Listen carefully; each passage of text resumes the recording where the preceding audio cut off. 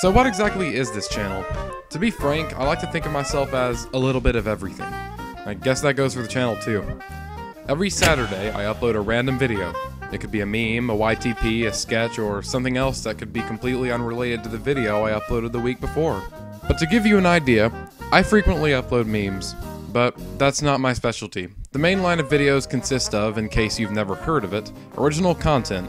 That includes, but is not limited to, The Beehive Show, Chronology Anomaly, and The Lost Files of John. These three are productions that I direct, film, and produce, and each have their own schedule. Allow me to give you a rundown. The Beehive Show follows Beehive Bumble, a fun loving bee turned human going on funny adventures and learning the ropes of life as a human. His dad, the scientist, was the man behind turning Beehive human and has dedicated his life to his bee research. The Beehive Show airs a new episode on Saturday. Which Saturday, we're not sure. Since this show is almost entirely scripted and edited profusely, it takes a while to make a good episode without rejecting one. Chronology Anomaly is an upcoming full featured film starring Bryson Long as Zach Gray, an innocent average Joe who somehow gets tied into a paradox capable of destroying the universe by himself.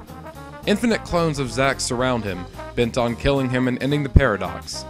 Chronology Anomaly is set to be released summer of 2018. The Lost Files of John follows John, a mysterious high school student uncovering mysteries and becoming rich and famous at school solving conspiracy theories, signing autographs, buying Bill Gates, you name it. John has probably done it in one day. The Lost Files of John airs a new episode every Wednesday at 6 p.m. Eastern Standard Time. So, what do you think?